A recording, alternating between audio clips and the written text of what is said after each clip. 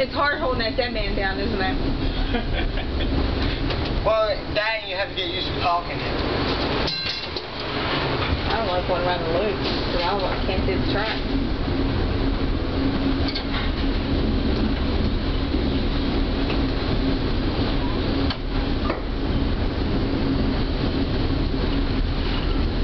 I absolutely hate coming through here. That's what uh, messed up those brake actuators.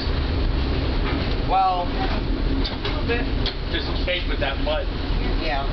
When's the next time you're going to be down here?